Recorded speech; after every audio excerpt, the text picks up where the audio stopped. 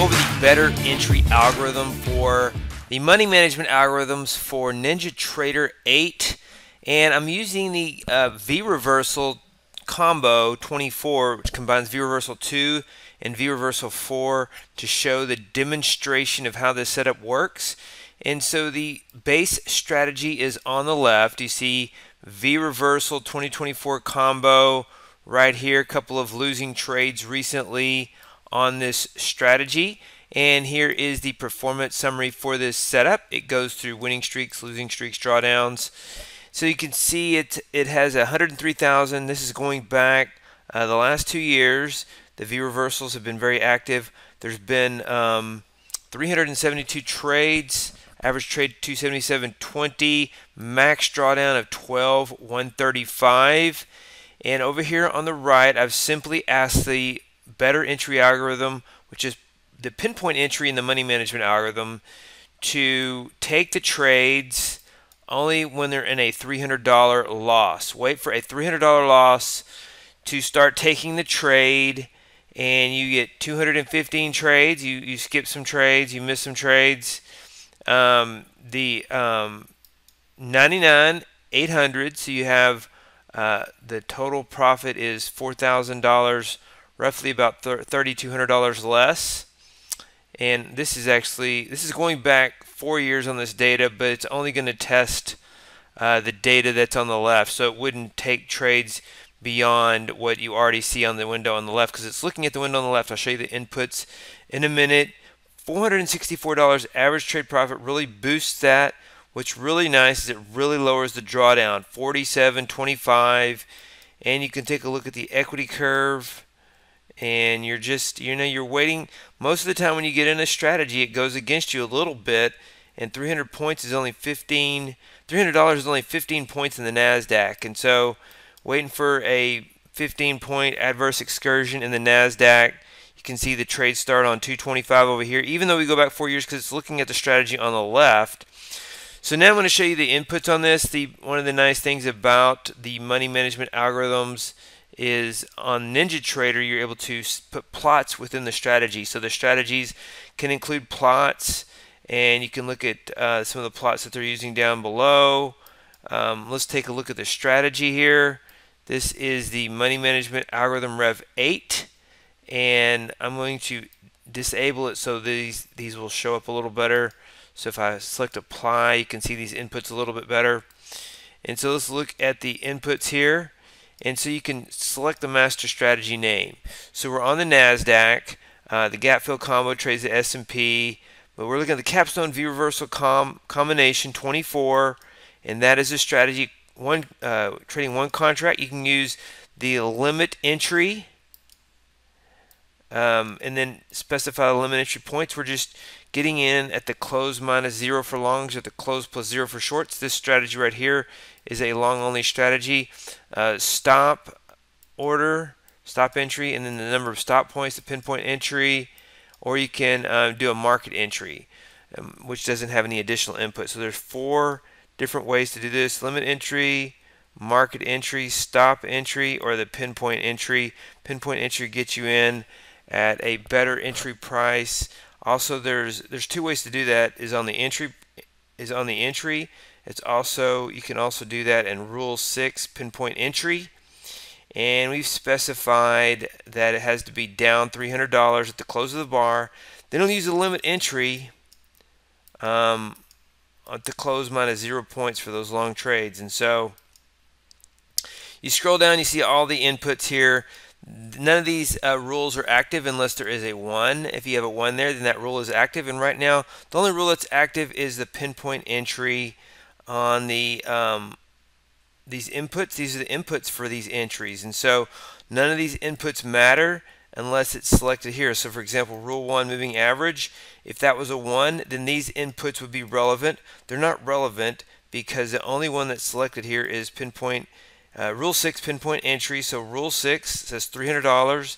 You're down $300, you can get in. None of these other inputs, there's a lot of inputs here, but they're not relevant or being used because there's not a 1 next to the uh, relevant input. So, example, Rule 11, RSI, uh, open equity, if that was selected, then you come down here to this Rule 11, RSI, then you have your look back period and your RSI threshold. And so that would be trading if the RSI is above a certain level. And let's keep going down. You can use a max daily entries, is selecting one uh, long start time, uh, 9:30 to 15:30.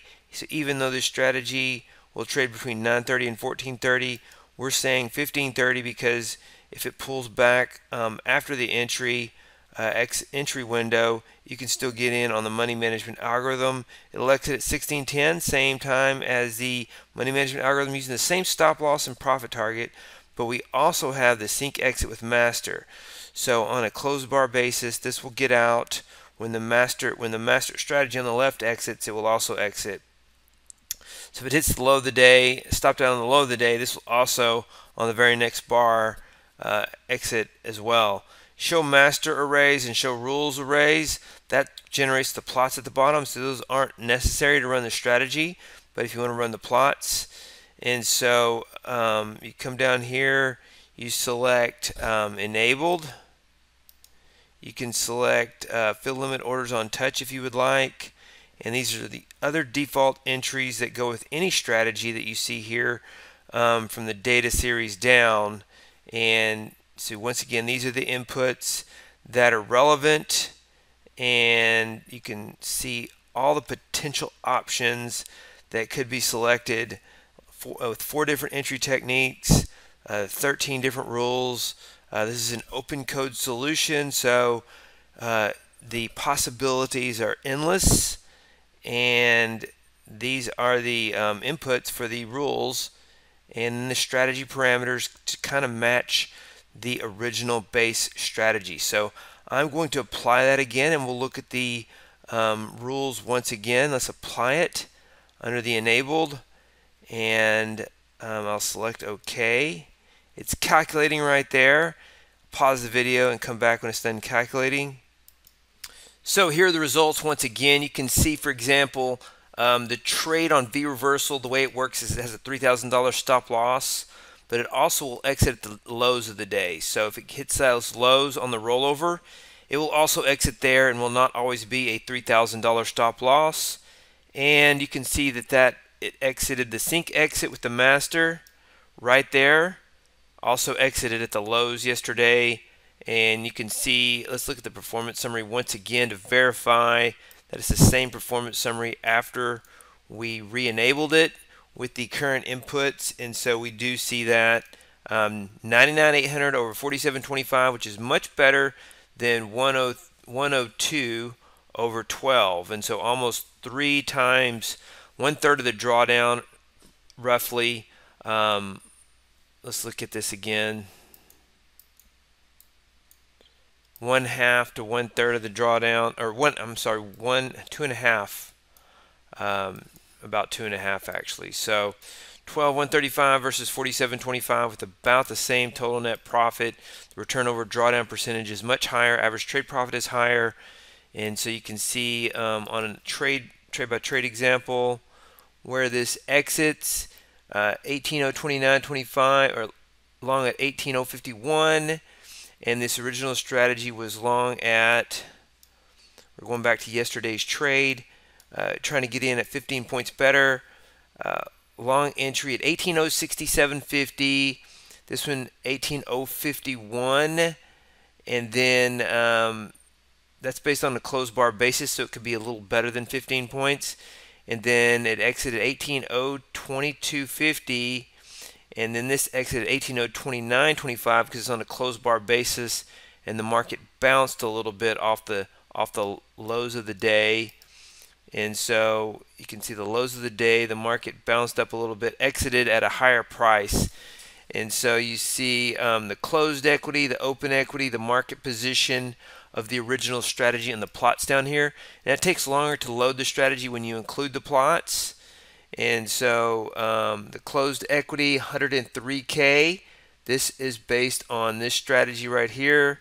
Um, and this is the open equity roughly 103k and the market position so the market position you see is plus one. Got long here, not for very long, and then it's flat. And then you can see um, the pinpoint entry um, where the where the um, where it was basically. You could see that it was about seven hundred and fifty dollars um, against us, and so that we're we're tracking uh, the entry algorithm. We're looking for 300 and then it continues to measure it throughout the trade. So whatever rule is selected will be plotted down here. So if a different rule is selected, then a different um, additional plot is added at the bottom of this chart. So that is one of the neat features of this in NinjaTrader 8. And so that is the basic money management algorithm, not the portfolio money management algorithm for NinjaTrader 8. Hey, David Bean here. Welcome to Capstone Trading Systems YouTube page. Be sure to subscribe to join our community of algorithmic traders. We are real money traders. We share our winning streaks, we share our losing streaks, as well as market updates, strategies, and coding tips.